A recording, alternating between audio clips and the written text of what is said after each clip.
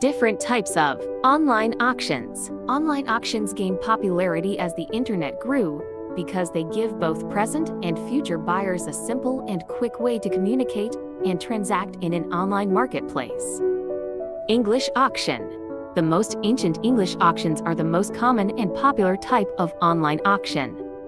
This system allows a single item to be put up for auction with a starting bid, and bidders compete by placing ascending bids until no one is willing to outbid the final bidder.